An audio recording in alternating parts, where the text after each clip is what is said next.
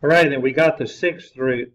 So I either need to do the cube root of the square root of 216, but 216 is not a perfect square, or I do the square root of the cube root of 216. And 216 is 6 cubed. So the answer to that was just going to be the square root of 6, and there's it. So we'd be good on 49, and we'll return.